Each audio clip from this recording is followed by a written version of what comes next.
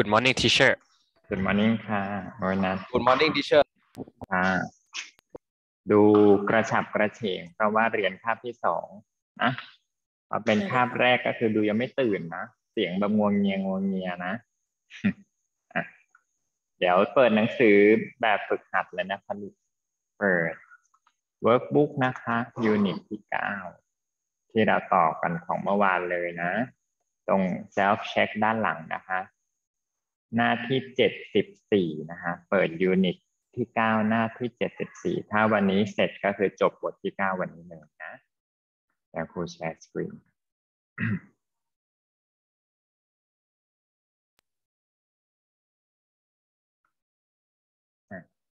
เมื่อวานเราทำกิจกรรมที่สองไปเรียบร้อยแล้วนะคะ ที่ให้ติ๊กว่าให้เติมส่วนที่ เป็นไปได้ของแต่ละประโยคนะคะพอกิจกรรมที่สามวันนี้แน่นอนหกข้อหกคะแนนเก็บคะแนนเหมือนเดิมนะคะเขาบอกว่า there are mistakes in five of the sentences find the mistake and correct them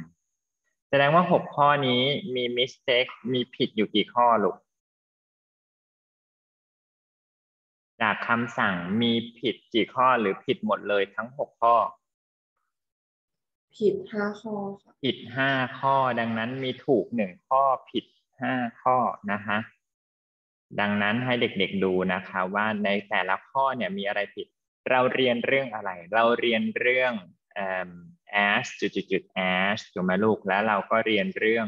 inversion ดังนั้นมันก็มีดูเรื่องอยู่สองประเด็น inversion หนูก็ต้องดูโครงสร้างว่า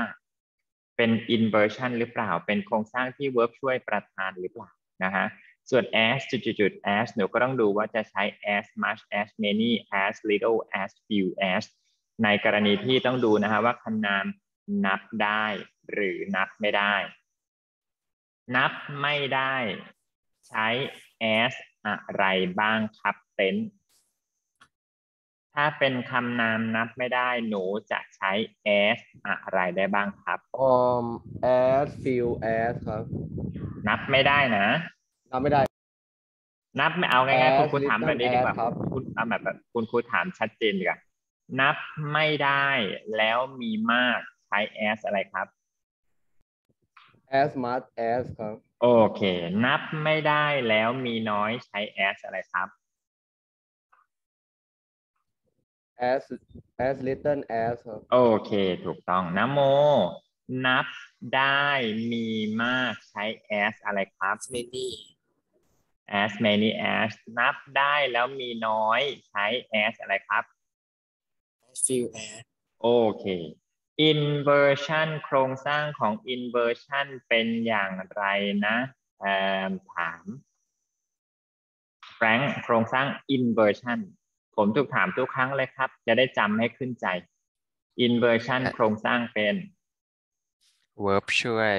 บวก ประธานบวก verb แท้ครับ แต่ต้องขึ้นต้นประโยค inversion ของหนูด้วย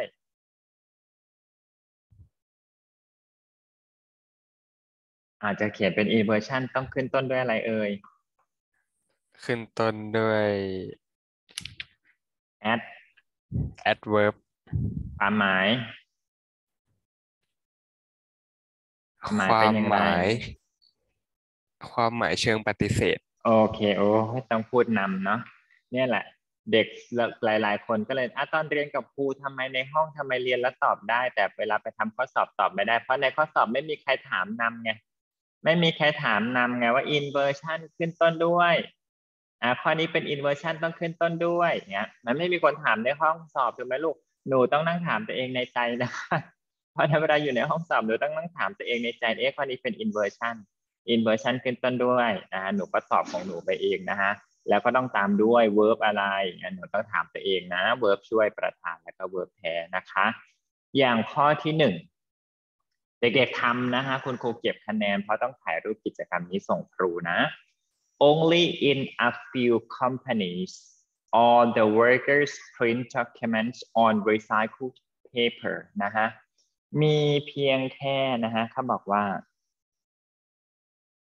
มีเพียงแค่ไม่กี่บริษัท มีเพียงแค่ไม่กี่บริษัทที่พนักงานทุกคนเนี่ยปริ้นเอกสารลงบนกระดาษที่รีไซเคิลมีเพียงแค่ไม่กี่บริษัทที่ พนักงานปริ้นเอกสารลงบนกระดาษรีไซเคิลข้อนี้อ่าถามก่อน บทนี้ grammar มีอยู่สองเรื่อง inversion กับ as จุดๆ as ข้อที่หนึ่งนี้ใช้ inversion หรือ as จุดๆ as คะใครมั่นใจยกมือตอบเลยลูก ใครจะเป็นอาสาสมัครหน่วยกล้าตายตอบเพื่อว่าถ้าเราตอบผิด ที่เหลือจะได้ตอบถูกเพราะมันมีแค่สองตัวเลือก มีแค่สองตัวเลือก ใครจะเป็นหน่วยกล้าตาย กล้าออกมาตอบก่อนเลยว่า Inversion inversion ถูกต้องนะโมเก่งมากเห็นไหมฮะมันมีอยู่สองอย่างนะฮะได้หน้ากับเสียหน้านะฮะได้หน้าก็คือตอบถูกปุ๊บถูกเลยนะฮะโอเคเก่งภูมิใจ แต่ถ้าผิดปุ๊บที่เหลือก็จะรู้ทันทีว่าต้องตอบอะไรนะ เพราะฉะนั้นน้ำโมตอบถูกนะฮะหน่วยกล้าตาย เพราะฉะนั้น inversion โครงสร้างของ inversion ก็ต้องเป็นเอ่อวลีคำ adverb นะฮะหรือ expression ที่แสดงความหมายเชิงลบ ตามด้วย verb ช่วยแล้วก็ verb แท้ อ้าวตายแล้ว verb ช่วยอยู่ไหนอาหา verb แท้ก่อน verb แท้คือคำว่าอะไรลูก ในประโยคข้อที่หนึ่ง verb แท้คือคำว่าอะไรคะเร็วช่วยกันหาสิมี verb แท้ตัวเดียวคุณครูบอกให้เลย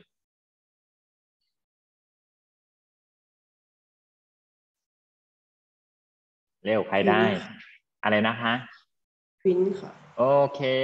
อ่า เพราะฉะนั้นคุณครูใบให้เท่านี้น้ำโมช่วยแล้วห้าสิบเปอร์เซ็นคุณครูบอกอีกห้าสิบเปอร์เซ็นที่เหลือเด็กๆต้องทำเองนะฮะ เป็น inversion แล้ว verb แท้คือคำว่า print เพราะฉะนั้นหนูก็ต้องย้อนกลับไปที่คุณครูทบทวนมาตะกี้นี้ว่า โครงสร้างของ inversion ต้องเป็นอย่างไร โครงสร้างของ inversion ต้องเป็นอย่างไร ถัดไปข้อที่สองค่ะ there are as few as 20 tigers still living on the reserve นะฮะ there are as few as 20 tigers still living on the reserve มีนะฮะ มีเสือแค่นะฮะ20 ตัวที่ยังมีชีวิตอยู่นะฮะในที่อนุรักษ์ ข้อนี้ เป็นเรื่องอะไรระหว่าง inversion กับ as จุดจุดจุด as ค่ะ l ข้อที่สองเป็น inversion หรือเป็นเรื่อง as จุดจุดจุด as ลูก as จุดจุดจุด s ค่ะ โอเค ข้อที่สองเป็นเรื่อง as จุดจุดจุด as พอเป็นเรื่อง as จุดจุดจุด as เด็กๆ ต้องดูนะลูกว่า as few as little as much as many ตามด้วยคำนามอะไร และข้อที่สองนี้หนูต้องพิจารณาคำนามว่าอะไรที่อยู่หลัง s นะคะลูก และดูสิว่าข้อนี้ถูกหรือผิด ถ้าผิดต้องแก้เป็นอะไรด้วยนะฮะ ถ้าถ้าถ้าถูกก็เขียนว่า correct นะฮะ ถ้าถูกข้อไหนถูกหนูเขียนว่า correct ข้อไหนผิดหนูก็แก้เลยนะฮะ แก้เลยเขียนประโยคใหม่ออกมาเลย อะข้อที่สาม ข้อที่สองนี้ต้องพิจารณาตรงไหนเนี่ย อะคุณครูใบให้อีกข้อหนึ่ง ข้อที่สองเด็กๆ ต้องพิจารณาตรงนี้นะฮะ as few as 20 tigers นั่นเอง นี่คือจุดที่เด็กๆ ต้องพิจารณาว่ามันถูกหรือมันผิดนะฮะถัดไปข้อที่สามค่ะ you can take as much than you want but don't take more than you need ว้าว ข้อนี้ใครสามารถบอกความต่างระหว่างคำว่า want กับคำว่า need ได้บ้าง ครูว่าครูเคยพูดแล้วนะฮะเขาบอกคุณเอาไปมากเลย คุณสามารถนำไปได้มากเท่ากับที่คุณต้องการ แต่อย่าเอาไปเกินกว่าจำเป็น want แปลว่าต้องการ need แปลว่าจำเป็น เพราะฉะนั้น want จะแปลว่าต้องการเกินความจำเป็น นะฮะต้องการเกินความจำเป็นเช่น บ้านหนูมีกันสี่คนคุณพ่อคุณแม่มีหนูแล้วก็มีน้อง รถก็ต้องการแค่ just uh, our family need a small saloon รถเก่งคันเล็กๆนะฮะแต่ถ้าแบบโอ้โหอยากคุณพ่ออยากได้รถตู้เลยนะฮะ my dad wants a big fan นะฮะอันนั้นคือต้องการเกินความจำเป็น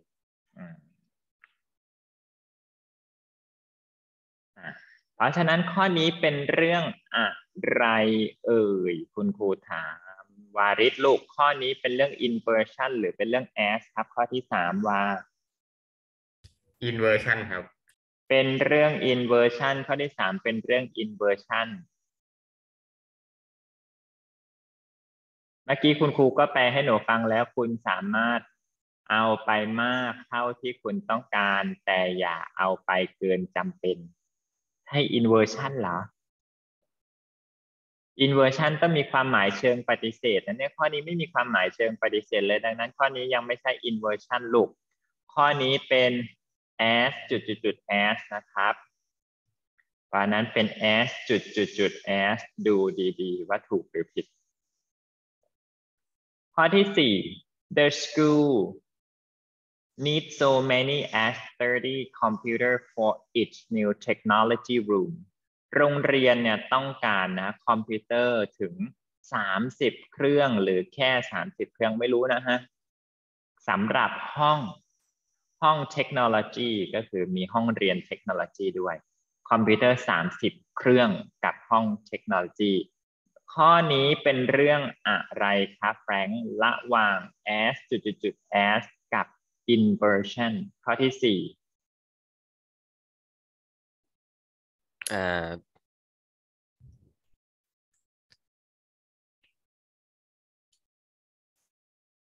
as จุดจุดจุด as ครับ อ่าโอเค ถ้าเป็น as จุดจุดจุด as เด็กๆ น่าจะรู้ได้ว่าอะไรผิด ข้อที่อะไรผิดหรือถูกเออข้อที่สี่ข้อที่สามไม่ข้อที่ห้า sorry seldom downsizing has increased the computer cost นะฮะเขาบอกว่านานๆ ครั้งนะฮะที่การ downsizing การลดขนาดลงเนี่ยจะเพิ่มขึ้น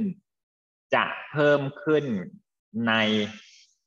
ค่าใช้จ่ายของบริษัท นานๆทีนะฮะนานๆ ครั้งที่การลดขนาดเนี่ยจะไปเพิ่มค่าใช้จ่ายของบริษัท เรื่องนี้ข้อที่ห้าเชลลี่ครับ ข้อที่ห้านี้เป็นเรื่องอะไรระหว่าง inversion กับ as จุดๆ as เอ่อ inversion ครับ inversion ถูกต้องเพราะเรามี seldom เป็น adverb แสดงความหมายเชิงลบเชิงปฏิเสธแล้วนะคะ เป็น inversion ข้อที่ 6 hardly had Jane finished the report but she spotted a few typing mistake นะฮะ ข้อนี้อ่าเขาบอกว่า ยังไม่ทันที่เจนจะทำรายงานเสร็จ แต่เธอก็เห็นว่ามีพิมพ์ผิดอยู่สักสองสามที่ ข้อนี้เป็น inversion หรือ as จุดจุดจุด as คะตามคุณครูถาม maple ข้อที่หกเป็นอะไร inversion หรือ as จุดจุดจุด as ลูก inversion ค่ะ เป็น inversion โอเคถูกต้องนะ เพราะเรามี hardly นะฮะที่แปลว่าแทบจะไม่เออยังไม่ทันที่นะจริงๆ hardly ตัวเดียวแปลว่าแทบจะไม่นะฮะแต่ hardly ต้องมากับอะไรเปิดดูนะ อ่าเดี๋ยวครูเช็คชื่อก่อนนะคะ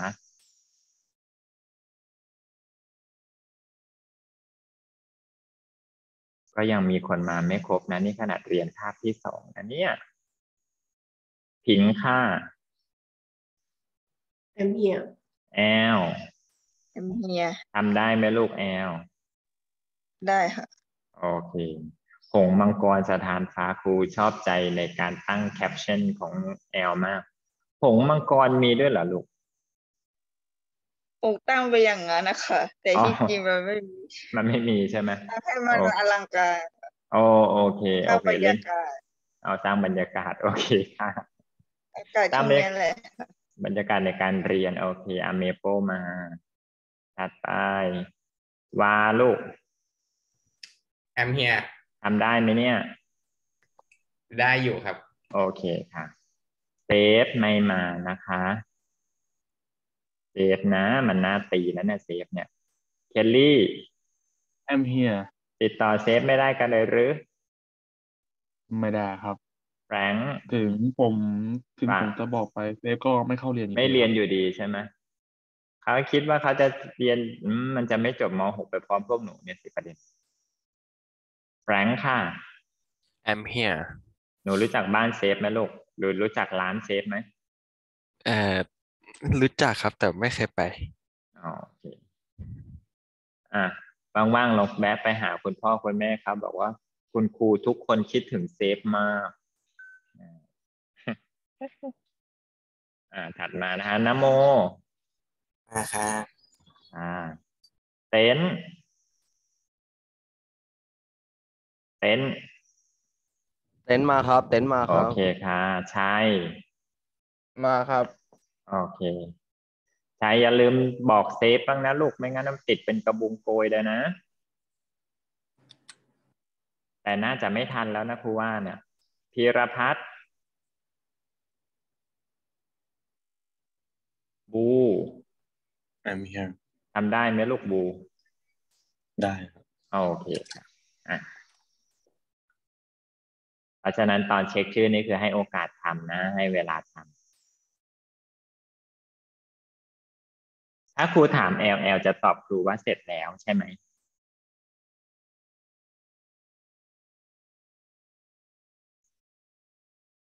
ได้ไหมแอลเสร็จหรือยังแน่นอนค่ะ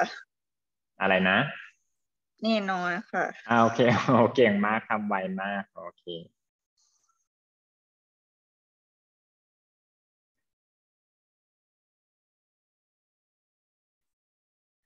อะน้ำโมเสร็จไหมลูกใช่แล้วครับ โอเค เด็กๆจ๋าเด็กๆ มันมีผิดอยู่หนึ่งข้อนะ มันมีถูกต้องอยู่หนึ่งข้อนะฮะห้าข้อผิดถูกหนึ่งนะคะ ถ้าใครแก้ทุกข้อเลยแสดงว่าโหเก่งจัดเลยเนี่ยข้อผิดและข้อถูกก็ยังบอกว่าผิดได้เนี่ยแสดงว่าเก่งล้ำหน้าแล้วเนี่ย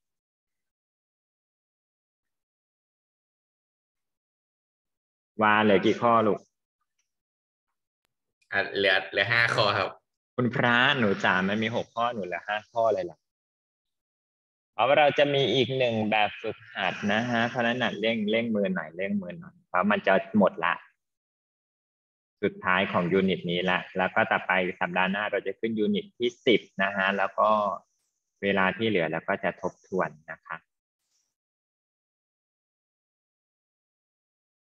อย่าลืมพรุ่งนี้ต้องกำหนดส่งท่องศัพท์ำหนดส่งท่องศัพท์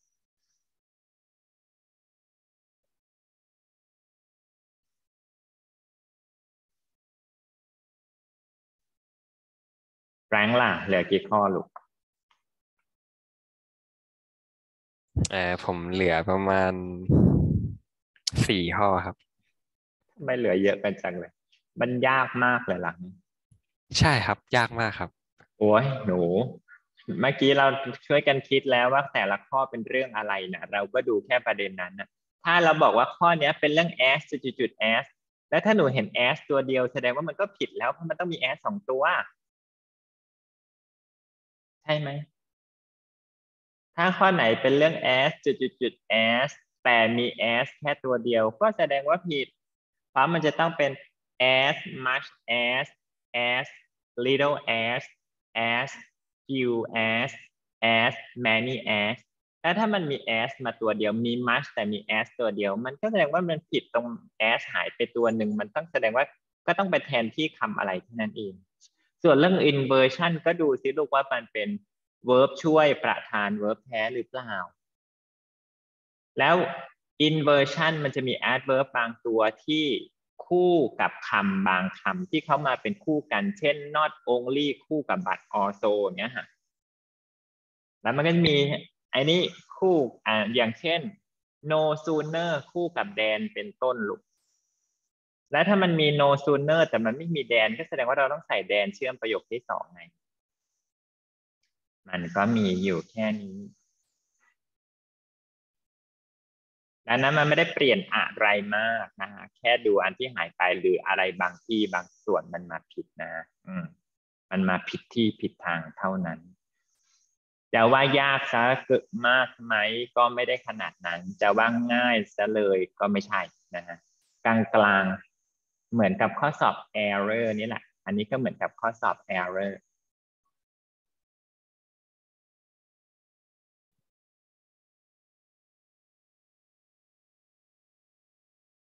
ปีการศึกษาหน้าน่าจะได้มาโรงเรียนกันแล้วมั้งมหกอะเนาะโควงโควิด ไม่ต้องกลัวแล้วลูก เป็นเป็นให้ครบครบไปจะได้ไม่ต้องจะได้มีภูมิคุ้มกันแฟรงค์เป็นห้องนี้มีใครเป็นแล้วบ้างแฟรงค์ใช่ไหมใช่ครับ หนูมีอาการหลังจากที่หายแล้วมัน ตอนเนี้ยร้อยเปอร์เซ็นต์ไหมร้อยเปอร์เซ็นคือหมายถึงหายแล้วใช่ไหมครับใช่ใช่คือหนูมีอาการแบบว่าเหมือนปกติก่อนที่ไม่เคยเป็นหรือเปล่า หรือยังไม่เหมือนเดิม ไม่ยังไม่เหมือนกับอาก่อนที่จะเป็นเอ่อก็ก็คือที่ผมหายเอามาเนี่ยง่ายคือๆคือผมหนูหายใจเต็มอิ่มไหมเวลา หรือจะต้องหายใจถี่กว่าปกติอะไรเงี้ยค่ะเพราะว่ามันจะเกี่ยวกับปอด ของหนูไม่ได้ลงปอดใช่ไหมใช่ครับ ผมก็ปกติโอเคเหมือนเดิมครับ โอเค อะ เพราะฉะนั้นถ้าปกติก็ถือว่าโชคดี เพราะถ้าลงปอดแล้วปอดมันถูกทำลายไปบางส่วนมันจะทำให้หายใจไม่อิ่ม หายใจไม่อิ่มเหนื่อยง่ายอะไรเงี้ยค่ะ แล้วก็บางทีก็มึนๆหรือ คิดอะไรช้าลงอะไรเงี้ยครับเคยได้ยินไหมลองโควิดอะแฟรงค์เคยได้ยินไหมเรื่องลองโควิดไม่ไม่เคยนะครับ อ่าไปหาข่าวดูนะฮะเมื่อไม่นานมานี้เหมือนคุณครูจะเคยพูดนะฮะอืม ลองโควิด มันจะทำให้หายไปนิ้วครึ่งนะฮะ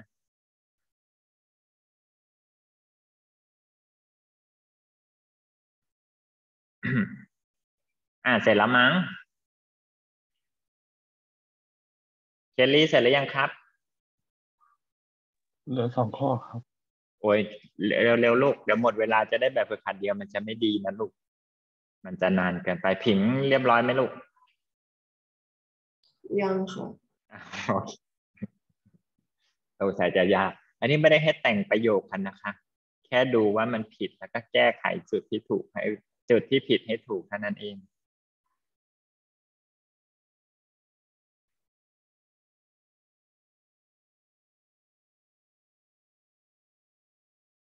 อย่าบอกนะว่าจะได้แบบฝึกหัดเดียว เดี๋ยวมันจะไม่จบบทนี้ไงประเด็น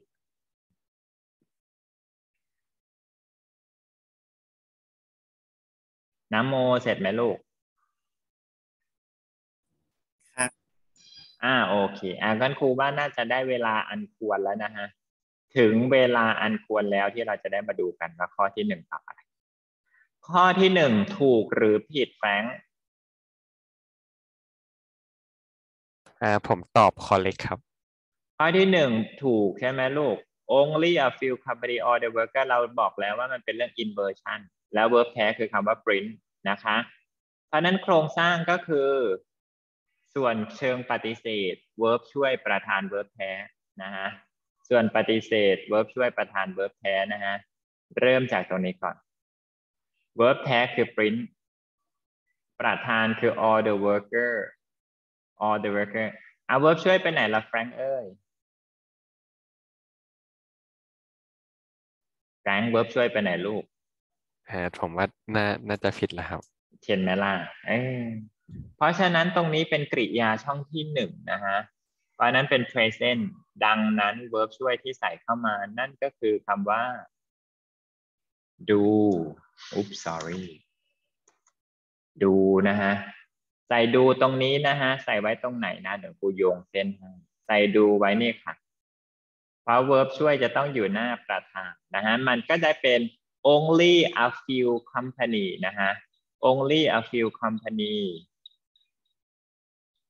do all the worker print document on recycle on recycled paper นั่นเองนะคะ ข้อที่สองถูกหรือผิดครับผิง ถูกค่ะอ่าข้อที่สองถูกแล้วนะ เพราะมี as เรียบร้อยแล้วนะฮะ as 20 tigers เพราะนั้นมีสิ่งมีเสือแค่ยี่สิบตัวเท่านั้นนะฮะที่อาศัยอยู่เพราะนั้นถือว่ามีน้อยนะฮะจึงใช้ S few S และ tigers นับได้นะฮะโอเค ถัดไปข้อที่สามดังนั้นข้อที่ถูกมีแล้วแสดงว่าที่เหลือผิดหมดเลย ที่เหลือผิดหมดเลย เริ่มจากข้อที่สามข้อที่สามวาริศผิดตรงไหนแก้อย่างไรอะแก้อย่างไรข้อที่สามวาริศเอ้ยผิดตรง as เอ้ย as much as ครับ อ่า as much as ต้องแก้เป็นมันมีโจทย์มันเป็น as much อะไรลูกเติมเติม as ให้มันข้างหลังคำว่า much ครับ เออหนูนี่นี่หนูจ๋ามันเป็น as much than ถูกไหมฮะ หนูก็จะต้องแก้ไข หนูก็จะต้องแก้ไขตรงนี้ที่มันผิดนะฮะ than ผิด และเราก็ต้องเปลี่ยนเป็น as แทนนะคะ เปลี่ยนเป็น as แทนนะ จาก than เปลี่ยนเป็น as ด้วยนะฮะอ้าวถัดมานะฮะ ข้อที่สี่ the school อ่าข้อที่สี่นี้ L มันผิดตรงไหนลูก L ผิดตรงโซค่ะ ผิดตรงโซ โอเค ดังนั้นผิดตรงโซโห L เก่งมากลูก ผิดตรงโซนะฮะ แล้วเปลี่ยนเป็นอะไรคะ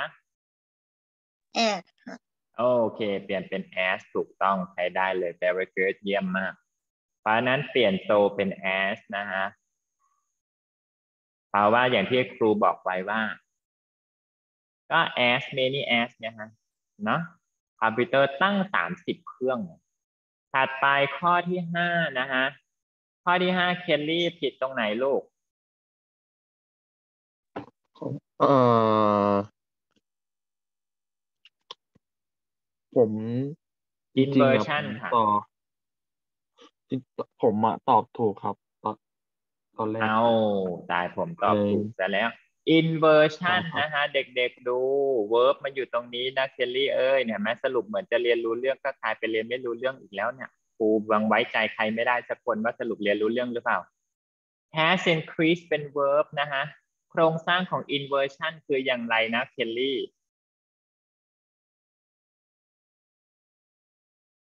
เคลลี่ลูกโครงสร้างของ inversion เป็นยังไงครับ อ่ามีปฏิเสธเซลดอมมีเป็น adverb แสดงความเป็นปฏิเสธแล้วค่ะ และตามด้วย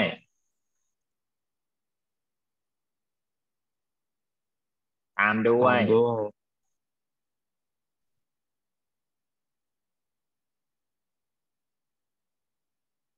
มด้วย verb ช่วยครับ verb ช่วยแล้วก็ตามด้วย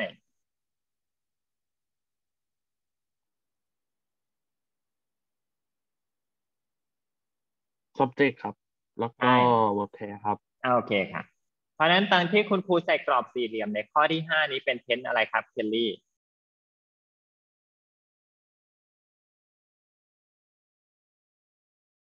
has increased เป็นเทนอะไรครับเคลลี่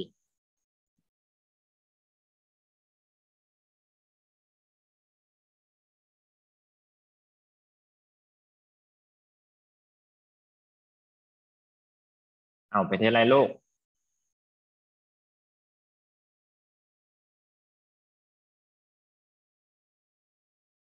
อ๋อ hello past perfect ครับ อะไร perfect นะ past ครับ past perfect ได้ไงล่ะ ถ้า past perfect ก็ต้อง have สิลูก อันนี้เป็นอะไร เป็นเทนอะไร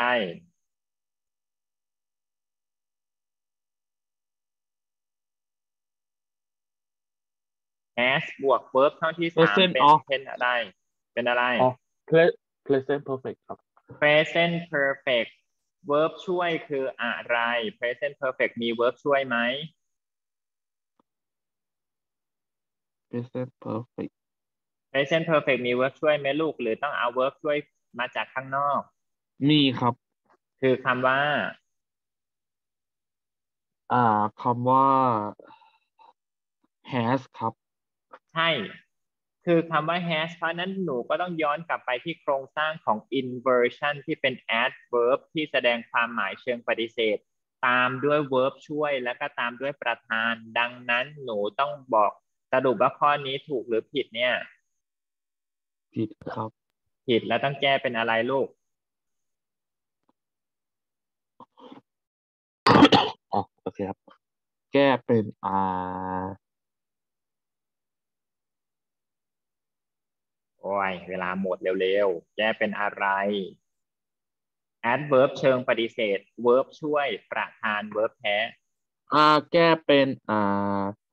seldom has downsizing increase a เอ company อ cost เพราะฉะนั้นเนี่ย ถามว่าได้ไหมล่ะ มันก็ต้องมีคนนำแบบนี้อะเหรอ มันจะต้องให้กูถามนำแบบนี้ทุกครั้งมันก็ไม่ได้แล้วลูก เข้าใจไหมเนี่ย คือครูทวนโครงสร้างทุกครั้งก่อนให้ทำแบบฝึกหัด ครูทวนทุกครั้งก่อนให้ทำแบบฝึกหัด และถ้าเด็กๆไม่คิดตามมันก็จะไม่รู้เรื่อง เพราะฉะนั้นมันเห็นชัดเจนเลยว่ามันจะต้องเป็น verb ช่วยประธาน verb แท้ มันก็ต้องเป็น seldom has downsizing increase the company cost เนี่ยอ่าข้อที่หกข้อที่หกใช่ข้อที่หกผิดตรงไหนครับ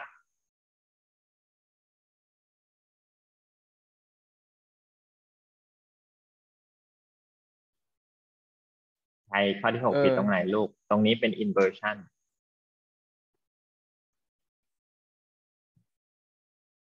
has Jane finished ผิดตรง had Jane finish ต้องแก้เป็นยังไง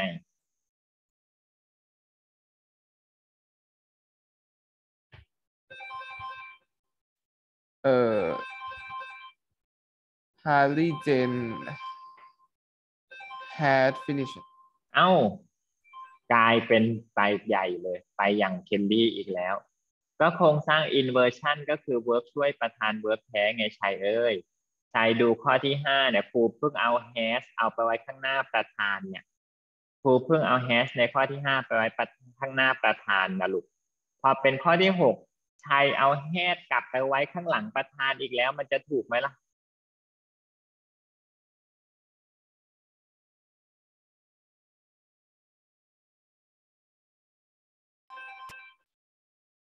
ก็ hardly เป็น adverb เชิงปฏิเสธ had เป็น verb ช่วย Jane เป็นประธาน finish เป็น verb แท้ เอามันก็เรียงถูกอยู่แล้วอะ ถามว่ามันใช่ข้อนี้มันมีจุดผิด ถามว่ามันผิดตรงไหนลูกหนูดูดีๆ หนูดูดีๆ เมื่อกี้นี้ตอนระหว่างที่หนูทำคุณครูก็บอกแล้วนะว่า อะไรต้องมีอะไร เจอหรือยังครับ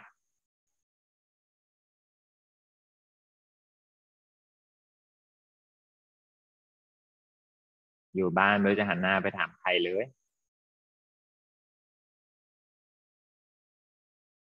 และเรื่องนี้ไม่ใช่จะหันไปถามใครก็ได้นะฮะ สมมุติมีพี่พี่สาวอยู่มหาลัยก็ตอบไม่ได้นะฮะ บอกให้เลยว่าเรื่องนี้มันเป็นเรื่องเฉพาะนะฮะ หันไปถามใครก็ตอบไม่ได้นะ ถ้าเขาไม่ได้เรียนเอกภาษาอังกฤษมาเนี่ย เรียบร้อยหันไปรอบบ้านก็ตอบไม่มีใครช่วยได้เลย เพราะว่า เชื่อเลยว่าถามใครก็ไม่มีใครเรียนเรื่องนี้นะ แต่เรื่องนี้ออกก็สอบโอเน็ตนะฮะอ่าว่าไงชัยเอ้ย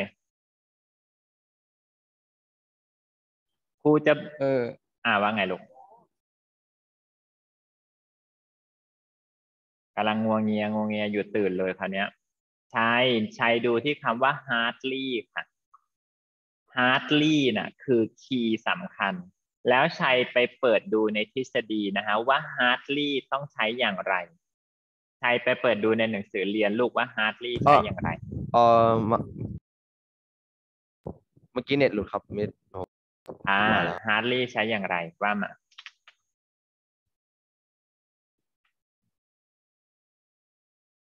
เอาว่าไงชัยเจอหรือยังแป๊บนึงครับคุณอาคายุ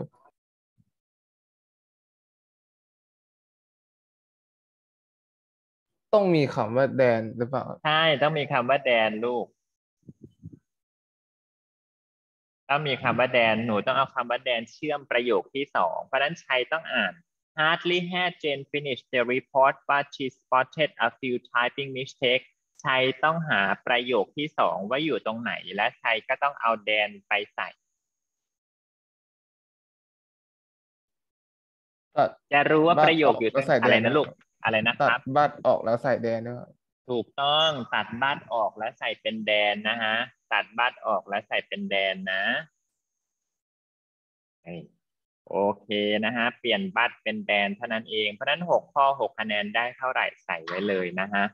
สใส่ด้วยนะฮะเมื่อวานนี้มีคนไม่ใส่นะฮะหกข้อหกคะแนนเนี่ยมันน่าตีมือนะเนี่ยน่าตีมือนักทีเดียวเชียวอยู่โรงเรียนจะตีมือเลยนะบอกให้ใส่ก็ไม่ใส่ ใครสารภาพมาใครไม่ได้ใส่ตัวเลขสารภาพมาเลย หรือให้คุณครูต้องเอ่ยชื่อ แบบฝึกหัดแบบที่หนึ่งที่สองใครไม่ได้ใส่ตัวเลขคะแนนบอกคุณครูมาสิสารภาพสิอะเช็คของตัวเองสิใครไม่ได้ใส่เลข ไม่ใส่ใส่คะแนนอะ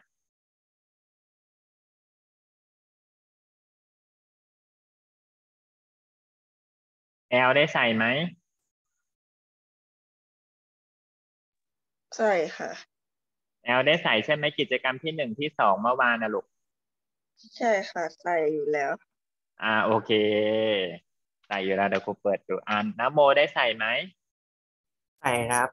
เคลลี่ได้ใส่ไหมใส่ครับครับใส่ครับใส่ครับผอ่ามเช็คแล้วอ่าครับเดี๋ยวอ่าเดี๋ยวเดี๋ยวไว้เดี๋ยวครูจะส่งไปในกลุ่มนะ ว่าใครไม่ใส่นะ อ่าถัดไปค่ะ แบบฝึกหัดถัดมานะฮะ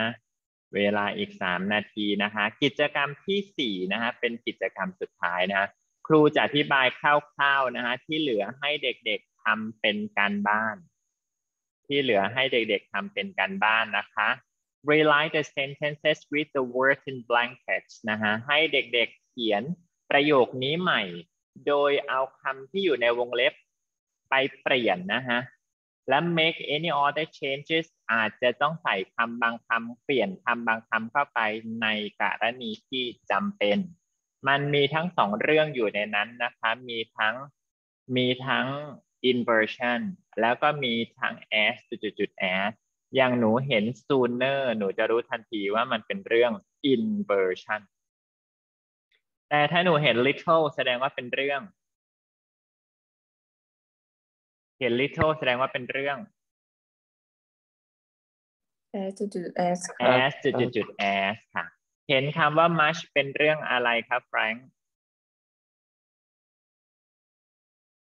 as จุดจุดจุด as ครับ โอเค ข้อที่สี่เห็นคำว่า many เป็นเรื่องอะไรคะเต็น as จุดจุดจุด as ครับ โอเค ข้อที่ห้าเห็นคำว่า little เป็นเรื่องอะไรครับบู as จุดจุด as ครับ โอเคค่ะ ข้อที่หกเห็น feel เป็นเรื่องอะไรแอล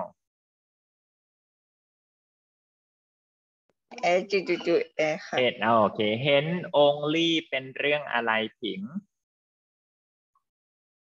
inversion ค่ะ โอเค เห็นเรื่อง time เป็นเรื่องอะไรครับนโม เห็นคำว่า time เป็นเรื่องอะไรลูก version ครับ inversion ถูกต้องค่ะอะไม่ได้เอาอุ๊บอะไปไหนแล้ว อ่าโอเค เพราะฉะนั้นอาจจะเวลาที่เหลือคุณครูจะแปลให้แล้วนักเรียนไปทำด้วยตัวเองนะฮะถามว่าการบ้านนี้ส่งเมื่อไหร่นะฮะส่งวันพรุ่งนี้ตอนพักเที่ยง ส่งวันพรุ่งนี้ตอนพักเที่ยงนะคะห รือใครทำเสร็จก็ส่งได้เลยนะฮะห้องไหนเสร็จครบแล้วก็ส่งได้เลย ข้อที่หนึ่งนะฮะ I heard the news and I sent an email to my friend นะฮะฉันได้ยินข่าว และฉันก็ส่งอีเมลถึงเพื่อน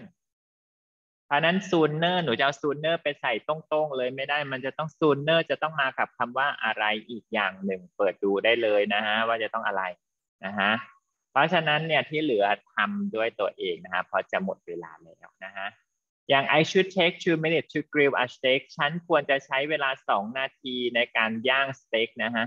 แค่สองนาทีเท่านั้นนะฮะ ตรงนี้ต้องไปเอา little s little s ไปวางไว้ตรงไหนเท่านั้นเองเนาะ ให้ทำเองนะ เป็นอะไรที่ challenge มาก อะ หัวหน้าห้องบอกทำความเคารพเลยค่ะ Yes, like teacher. Thank Thank you. you, Thank you. teacher.